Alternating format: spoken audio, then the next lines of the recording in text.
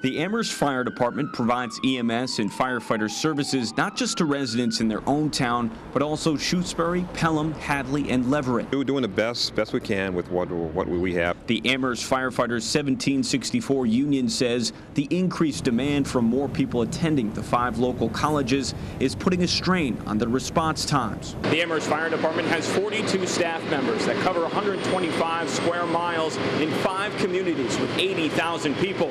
Amherst Fire Chief Tim Nelson says it's an issue many fire departments have, but they are trying to negotiate with the town and the University of Massachusetts to get more funding to add more staff. Four four shifts, uh, two two shifts of 10, two shifts shifts of 11. You know, and generally we have about eight eight on uh, duty. Amherst Firefighter Union President Joseph Lagasse says they are 200 calls above where they were last year and expect to go well over 6,000 calls by January.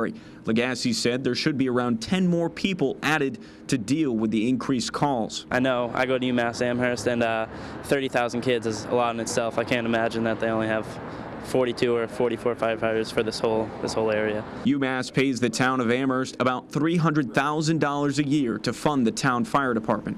David McKay, 22 News.